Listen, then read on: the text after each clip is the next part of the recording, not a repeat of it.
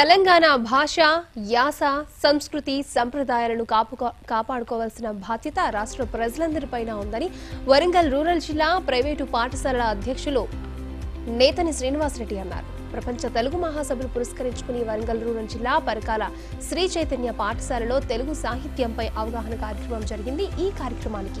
ఆయన ముఖ్య అతిథిగా హాజరయ్యారు. నాట్య ప్రదర్శన ద్వారా తెలుగు సాహిత్యంపై అవగాహన కార్యక్రమం జరిగింది.